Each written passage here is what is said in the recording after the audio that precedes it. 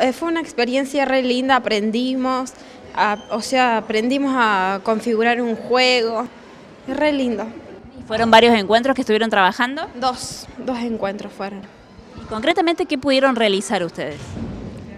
Eh, hicimos un juego de uno que se trata de un parque de diversiones y otro de un auto, de un, o sea, de un juego de autos.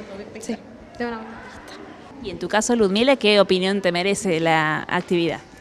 y que aprendimos bastantes cosas, aprendimos a usar un poco más la computación, en el sentido que aprendimos a armar un juego en 3D, que una cosa que nadie sabía y que sabíamos y no lo sabíamos muy bien, y los chicos nos fueron, apre- nos fueron enseñando, tuvieron la paciencia, nos explicaron un poco más, porque algunos que no entendían, nosotros en el caso de nosotros no entendíamos nada y nos estuvieron ahí, nos explicaron y fue muy lindo, a mí me gustó.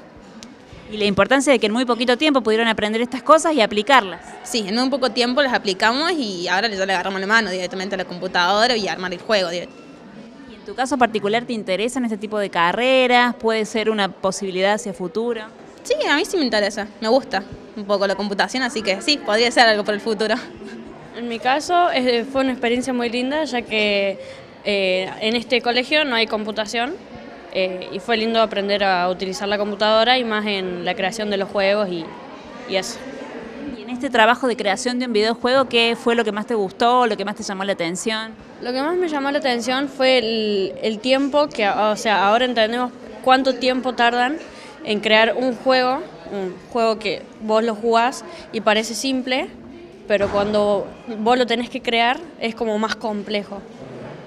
¿Fue un trabajo grupal? ¿Cómo se dividieron las distintas tareas? Fue un trabajo grupal y lo íbamos haciendo entre todos porque la idea era que aprendiéramos todos.